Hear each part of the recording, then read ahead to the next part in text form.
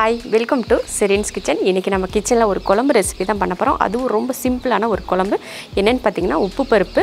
நம்ம கோயம்புத்தூர் ஸ்டைலில் ரொம்ப அருமையான ருசியில் ஒரு உப்பு பருப்பு பண்ண போகிறோம் வாங்க அதை எப்படி பண்ணலாம் அப்படின்றத பார்க்கலாம். அதுக்கு முன்னாடி நிறைய பேர் கேட்டிருந்தீங்க. உங்களுக்கு பின்னாடி இருக்கிற மலை எந்த இடத்துல இருக்குன்னு கேட்டிருந்தீங்க. நாங்கள் வந்து துடியலூரில் இருக்கோம். அதுக்கு பின்னாடி இருக்கிற மலையை தான் நீங்கள் பார்க்குறீங்க. ஏன்னா துடியலூரை பொறுத்த வரைக்கும் இந்த மலை தான் பக்கமாக தெரியும். நாங்கள் துடியலூரில் இருக்கிறோம். இந்த மலைக்கு அப்போ இந்த மலைக்கு அடிவாரத்தில் தான் பொன்னூத்தம்மன் கோவில்னு சொல்லிட்டு ஒன்று ஒரு இடம் இருக்கும். அந்த இடம் அந்த மலை தான் இந்த மலை. அதுக்கு பேர் எனக்கு தெரியல. ஆனால் பொன்னூத்தம்மன் கோயில் அங்கே இருக்குது அப்படின்னு சொல்லுவாங்களா? அதனால அதுவாக தான் இருக்கும் அங்கேயா தான் இருக்கும் அப்படின்னு நினைக்கிறேன்.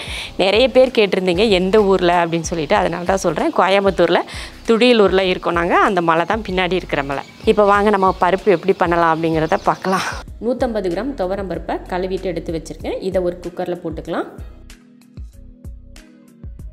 அதில் மூணு தக்காளி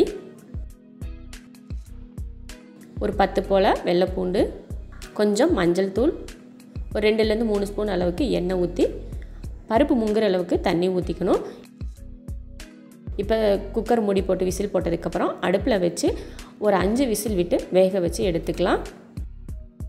பருப்பு பார்த்திங்கன்னா வேக வச்சு எடுத்தாச்சு. இப்போ பாருங்கள் நல்லா குலைவாக வெந்திருக்கு. இப்போ வந்து நம்ம தாளித்து விட்றலாம் தாளிக்கிறதுக்கு ஒரு பேன் வச்சு எண்ணெய் ஊற்றிக்கிறேன் எண்ணெய் காஞ்சதுமே அரை ஸ்பூன் அளவுக்கு சீரகம் அரை ஸ்பூன் அளவுக்கு வரமல்லி அதையே நல்லா நம்ம கையை வச்சு நசுக்கி அந்த சீரகத்துக்கூடையே சேர்த்துக்கலாம். அடுத்து கருவேப்பிலை நூறு கிராம் சின்ன வெங்காயத்தை நல்லா சின்னதாக வெட்டி வச்சுருக்கேன் அதையும் சேர்த்துக்கலாம். பச்சை மிளகாய் வந்து நான் ஆறு சேர்த்துருக்கேன்.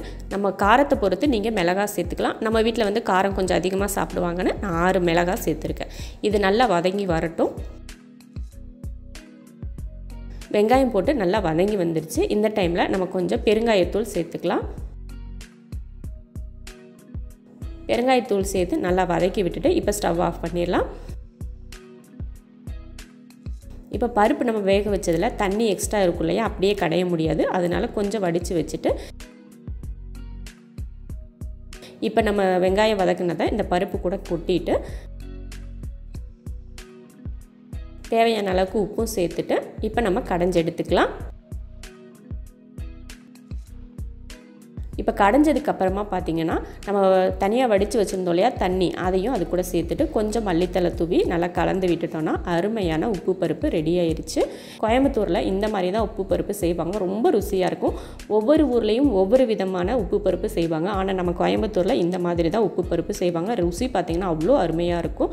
இதே மெத்தடில் நீங்கள் கொள்ளுப்பருப்பு கடையலாம் தட்டைப்பருப்பு கடையலாம் பச்சைப்பயிறு கடையலாம் இந்த மாதிரி பயறு பருப்பில் கடையிற எல்லாமே இதே மெத்தடில் நீங்கள் செய்யலாம். ரொம்ப நல்லாயிருக்கும் இதே போல் செஞ்சு பார்த்துட்டு எப்படி இருக்குன்னு சொல்லிட்டு கமெண்ட்டில் சொல்லுங்கள் பிடிச்சிருந்தால் லைக் பண்ணிவிட்டு ஷேர் பண்ணிவிட்டு நம்ம செரின்ஸ் கிச்சன் சேனலை சப்ஸ்கிரைப் பண்ணி பக்கத்தில் இருக்க பெல் ஐக்கானை கிளிக் பண்ணி வச்சுக்கோங்க.